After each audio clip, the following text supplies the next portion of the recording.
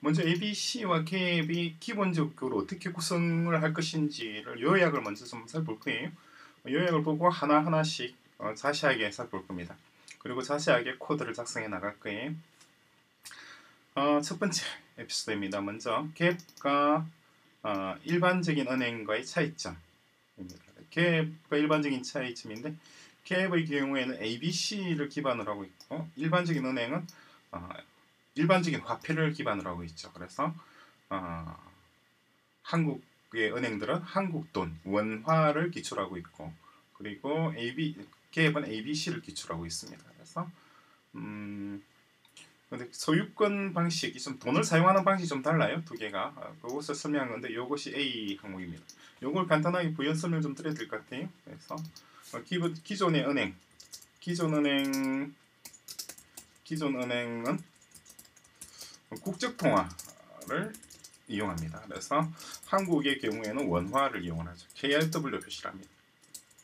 KRW KRW 그리고 뭐 호주 같은 경우는 오스트리안 달러를 이용하고 일본 같은 경우는 어, 일본 JPN을 이용을 하고 그리고 차인 중국 같은 것도 차이니즈 위안 위안을 이용하죠. CHY인가 CNY인가 모르겠네. CNY 같기도 하고. 어, 하여튼 이렇게 이걸 국적 통화라고 표시합니다. 국적 통화를 피아트 크런시라고 표현해요. C를 이용을 하고 그리고 갭은 우리 갭은 국적 통화가 아니라 ABC를 이용합니다. GAB은 global autonomous bank global autonomous bank 약자예요. GAB GAB 는 ABC ABC를 이용하는데 이건 asset backed 어, cryptocurrency 그러니까 사용하고 있는 통화 자체가 다르다는 것도 한 가지고 그리고 소유와 사용 방식도 좀 다릅니다. 어떻게 다르냐니까 아, 여기 여러분들이 좀 이야기가 쉬울지 모르겠습니다만은 어, 좀 지금까지 여러분들하고 생각했던 개념하고 좀 다를 거예요. 음, 어, 기존의 어떤 돈을 쓰는 방식은 내가 돈을 소유를 하는 거죠. 그래서 내가 내가 돈을 소유, 내가 돈을 소유 소유한다. 그래서 어, 지갑에 속에 지갑 속에 뭐 5만 원짜리도 있고 5만 원권 지폐 석 장, 만 원권 두 장, 그다음에 뭐 동전 뭐 뭐 뭐 몇 개, 그리고 은행에 어떤 잔고가 얼마 이만큼 잔고 이런 식으로 돼 있, 쓰는 거예요. 그래서 이 중에서 만 원을 꺼내서 누군가에 주고 5만 원을 꺼내서 누군가에게 주고 잔돈을 받고 어쨌거나 어, 내가 돈을 소유하고 하고 운용하는 주체가 되는 것이 기존의 은행입니다. 기존 기존 화폐예요. 기존 화폐 방식인데 그런데 ABC는 이거랑 좀 다르단 말이죠. 어떻게 다르냐니까 ABC asset backed cryptocurrency 같은 경우에는 어, 돈이 나를 소유한다고 해야 되나 뭐라고 해야 되나요? 어, 거꾸로입니다. 그러니까 어, 일단 화폐 단위도 기준 화폐 같은 경우에는 화폐 단위가 화폐 단위가 어떻게 있나요? 어, 1원짜리도 있고 그 다음에 10원짜리 있고 50원짜리도 있고 100원짜리 있고 한국 돈의 경우입니다. 또 천원짜리 있고 뭐 이런 식으로 500원짜리도 있네요. 500원 이렇게 쭉 되어 있잖아요. 이런 식으로 해서 요 중에 일부를 내 가지고 있는 거죠. 100, 500원짜리 몇 개, 100원짜리 몇 개, 50원짜리 몇 개 이렇게 소유를 하는 방식이 기존 화폐를 이용하는 방식이에요. 그런데 ABC 같은 경우는 그렇지 않습니다. ABC 같은 경우는 소수점 세 자리부터 소수점 세 자리 그러니까 점 000 세 자리죠, 그죠? 더하기 1억 단위, 1억 그러니까 말하자면은 어 9억 9,900 99만 9천 999원 점 999원 이렇게 되는 거죠. 화폐 단위가 화폐 단위가 제로부터 해서 이렇게 되는 거예요. 어, 정확히 말하면은 이렇게 되는 것이 아니라 예, 플러스가 되고 그리고 마이너스 마이너스 9억 9,999만 얼마부터 해서 쭉 나가서 플러스 9억 9천 얼마까지 단계가 있죠. 그래 대략해서 20억 개 정도죠. 그러니까 9억 5천 대략 20억 개 대략 20억 개의 20억 개가 아니죠. 좀 넘죠. 여기 뒤에 소수점 세 개가 세 자리가 있잖아요. 그러니까 2천억 개죠. 2천억 개의 화폐 단위를 가집니다. 단위를 가집니다.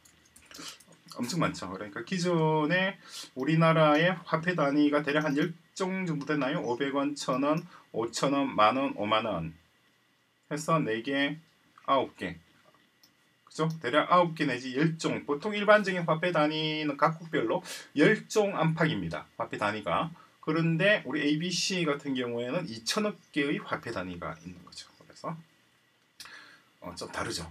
다르고 왜 이렇게 화폐 단위를 많이 이용을 하느냐, 많이 쓰느냐, 이렇게 설계를 왜 이렇게 했느냐 하는 건데 그걸 좀 말씀을 드려야 되겠죠. 그걸 여러분들이 이해를 하셔야지 코딩을 하실 거 아니에요, 그죠?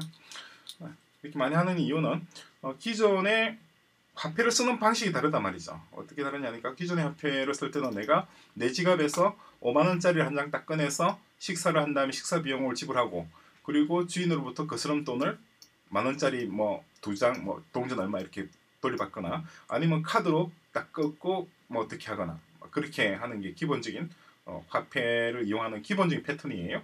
그죠? 어, 그런데 어, ABC는 그런 식으로 쓰는 것이 아니라 어, 그러니까 나는 그 모든 경제 참여자, 참여자 는 사람도 포함되고 사물도 포함되고 개념도 포함돼요. 경제 참여자가 지금 사람 지금 기존의 화폐 같은 경우는 화폐를 쓰는 주체가 사람임을 가정하죠, 그죠? 의, 의 사용 주체는 사람인데 ABC의 사용 주체는 사람이 아니에요. 사람뿐만 아니라 이 사용 주체는 어, 모든 객체, 오브젝트입니다. 사람도 있을 수가 있고 사물도 있을 수가 있고 개념도 있을 수가 있고 그렇죠? 자동차도 자동차도 이 ABC라고 하는 이 화폐의 사용 주체로 지금 우리가 상정을 한 거예요. 그래서 무인 자동차다. 어, 뭐 기름이 떨어졌다. 무인 자동차인데 그러면은 주인님한테 어, 주인님 나 기름 떨어졌으니까 나 데리고 주유소에 가주세요 하는 게 아니라 자기 혼자 주유소에 가서 기름 넣고 기름값을 계산하고 나오는 거예요. 그죠? 이제 무인 자동차니까 되게 전기차긴 하겠지만은 뭐 전기차니까 기름을 쓸 일은 없겠습니다만은 말하자면 그렇다는 거예요. 그리고 음, 모든 경제 참여자는 반드시 하나의 은행 계좌, 금융 계좌에서 정확히 말하면 은행이 아니고 금융 계좌를 가진도록 구성되어 있습니다. 구성. 어디가 이렇게 되느냐니까 공간 웹이 그렇게 되어 있다는 거죠. 공간 웹. 그죠? 그 반드시 하나의 금융 계좌를 가지도록 구성되어 있고 하나의 금융 계좌는 계좌는 하나의 잔고 반드시 하나 그렇죠? 하나의 반드시 하나의 잔고를 가집니다. 그죠? 그래서 내 잔고가 어 우리 화폐 단위 우리 뭐예요? 우리 저기 어 ABC는 화폐 단위를 이렇게 달러 표시에다가 플러스 기호를 딱 붙여요. 읽을, 읽을 땐 닙이에요. 닙. 입. 입. 닙. 또는 닙. 또는 입이라고 어, 뭐라고 고침합니다. 형태는 이렇게 달러 표시에다 플러스 하나 붙어 있는 형식입니다. 그죠? 영어로는 닙 이렇게 되는 거죠. 그죠?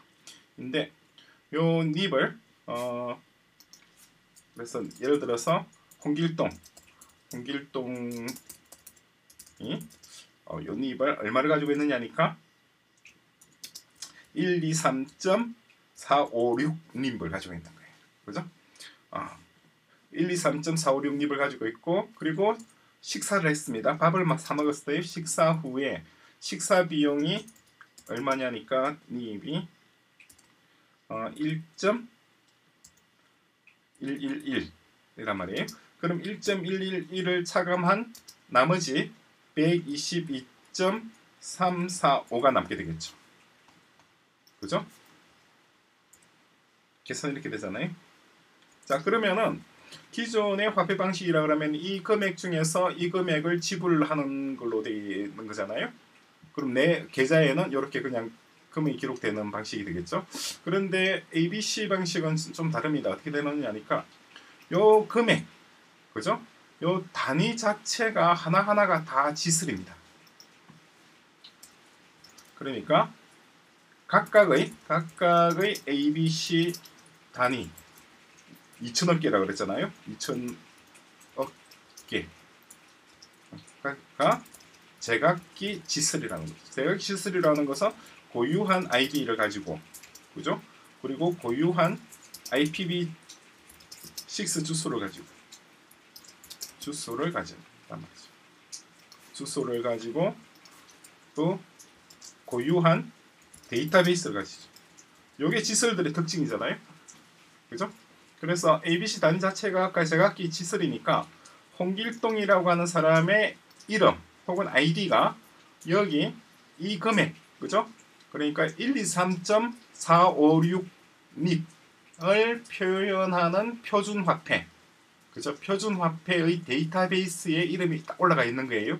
이 상태에서 그리고 식사 비용으로 이만큼 지불하게 되죠. 지불하게 되면은 여기에 있던 홍길동의 이름이 데이터베이스예요. 그죠? 그러니까 123.456립에 할당된 데이터베이스에 있던 홍길동의 이름이 지워지고 새로이 122.345라고 하는 화폐 단위의 홍길동의 이름이 등재되게 됩니다. 이해되시나요? 왜 이렇게 했느냐? 뭔가 보면 좀 복잡하잖아요. 기존의 방식하고 완전 다르잖아요. 기존에 우리가 화폐를 쓰는 방식하고 너무 다른데 왜 이렇게 했느냐 하면은 이렇게 하면은 굉장히 효율적으로 우리가 화폐를 운용을 할 수 있게 됩니다. 굉장히 효과적으로 돼요. 그래서 모든 시장 참여자는 반드시 하나의 꼭 하나만의 계좌 잔고를 가지잖아요.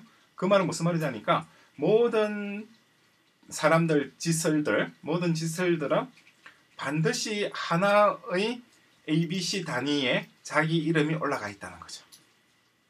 그죠? 난 돈이 10원도 없다. 그럼 어떻게 되겠어요? 10원도 없으면은 처음에 할당되는 처음 초기화 될 때 처음 지설이 초기화 될 때 그일 수도 그일 고 그녀일 수도 있고 그것일 수도 있죠. 그것의 계좌는 계좌는 제로가 되죠. 제로님 제로님으로 할당. 네. 무슨 말이냐니까 요것을 제로닙 제로닙을 을 표명하는 지설이 해당 지설 좀 초기화 된 거죠. 처음 어, 각 지설들 뭐라고 해야 되나요? 어, 공간 웹에 처음으로 진입하는 새로운 지설들, 새로운 지설들의 아이디 뿐만 아니라 사실상 다른 것도 들어갑니다만 아이디를 기록하게 되는. 그럼 내가 처음에 어, ABC와 겟 공간 웹에 들어오게 된다. 처음으로 공간 웹을 사용하게 된다 그러면 나의 계좌가 만들어지고 그 계좌의 잔고는 제로가 됩니다. 계좌의 잔고가 제로가 된다는 게 무슨 말이냐니까 제로를 제로닙을 표명하는 지설의 데이터베이스에 내 이름을 올린다 이 말이에요. 이게 어떤 의미인지 이해가 되시나요? 이게 쉽게 이해가 된다 그러면 좀 거예요. 쉽게 이해돼서는 안 돼요. 이게 왜 쉽게 이해돼서는 안 되느냐면은 이거는 기존에 우리가 화폐를 쓰는 어떤 통념이라든가 관념이라든가 이런 것들을 완전히 거꾸로 뒤집어 놓은 거란 말이에요. 완전히 뒤집어 놓은 거예요. 그러니까 잔돈 개념이 없어요. 그러니까 사람과 돈의 관계가 아, 거꾸로 반대로 바뀌어 버리게 돼요. 돈과 사람의 관계로 바뀌게 되는 거죠. 왜 이렇게 하느냐? 좀 전에도 말씀드렸습니다만 이렇게 함으로 해서 굉장히 효율적인 금융 시스템, 은행, 보험사, 증권사를 하나로 통합한 새로운 형태, 기존의 암호화폐 시장까지 통합한 새로운 형태의 금융 인프라를 구성할 수 있을 것이다 라고 하는 것이 제 생각입니다.